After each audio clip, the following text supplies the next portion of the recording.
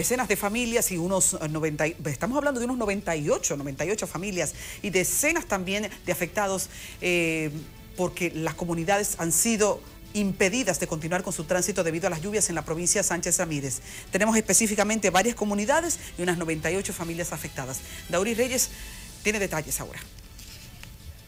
Así se encuentra en estos momentos la zona de Babarí en el municipio de Cotuí, inundada por la creciente de varios ríos en esta localidad, lo que ha dejado incomunicadas a más de 90 familias.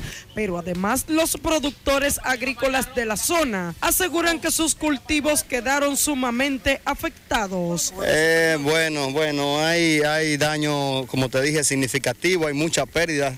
Se, se estima que se se ha, perdido más de un 70%. Aquí totalmente se perdió porque la rota va crítico, salido ya, y cuando está salido, él se pierde.